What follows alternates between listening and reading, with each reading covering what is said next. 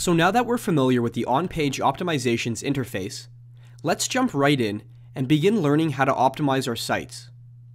We'll start with the title tag, which is one of the most important on-page SEO elements.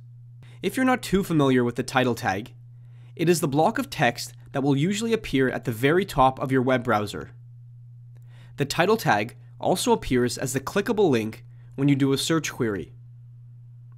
The title tag tells search engines a lot about a website.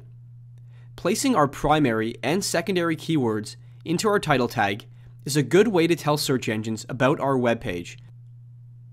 On the title tag tab, you will see the suggestions for your page at the bottom. You will be told how often that keyword is being used in the title tag by the sites that rank in the top 10 for that keyword. Generally, the keyword will be used one or two times by the top ranked sites. You will also see suggestions for optimal character length and optimal word length. In the text box near the top, you can type in your new title tag for this page. Here is one very general suggestion for the way you can structure your title tag.